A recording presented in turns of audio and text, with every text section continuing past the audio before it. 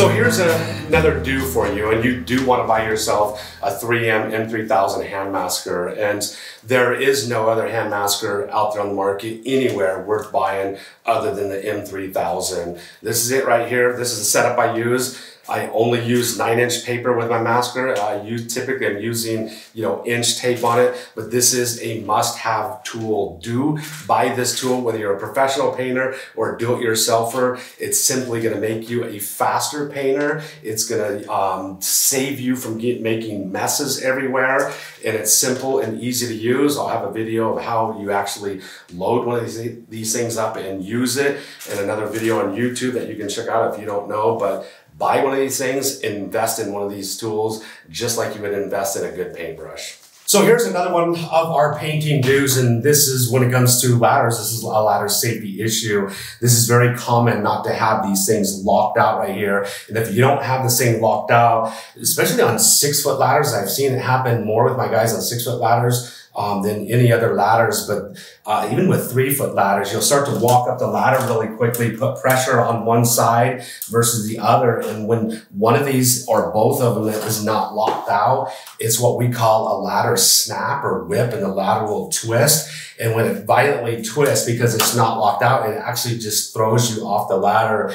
And from my um, business experience, having a painting company for over 20 years, I've seen this happen a lot of times over and over. So it's absolutely essential that you take and lock out both these these um, latches on these ladders so it doesn't snap or twist and cause a serious injury. Here's one of the do's of painting, and this is one thing when it comes to um, your rollers dripping paint. Do just keep this thing rotating all the time. When I'm taking and I take this thing out of my pan, I'm gonna bring it up from my pan, and as long as I rotate this thing, I'm not gonna get any drips if I don't rotate it too fast. I can hold this thing, do whatever I want. I can sit here and talk. I'm not gonna get a drip of paint. But what I typically do, I'm gonna load up my roller in my pan, and as it begins coming from my pan, I'm gonna be rotating this thing. I'm usually always rotating it when I'm coming from wall to pan like this, and you're not gonna get drips. Same holds true with the brush. So one of the do's of painting, always rotate your roller as you go from pan to wall. All right, so now I'm gonna be masking off any light switches and um, sockets. So one of the things I do like to use is socket blockers. It's an easy way to mask off switches and plates and they are reusable. They have an adhesive on them. They just come on and off and you definitely want to mask these off. I've got a uh, socket over here. Uh, previous painters didn't mask off and they got paint all over it.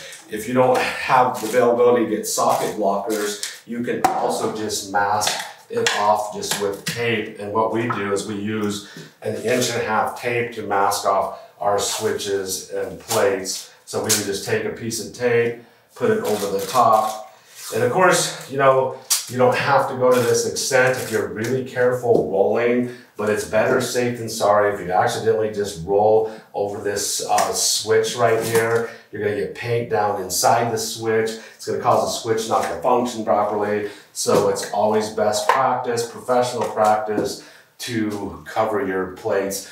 And the socket blockers actually work if you're spraying or rolling. They're an excellent little device to use. And once again, they are reusable too.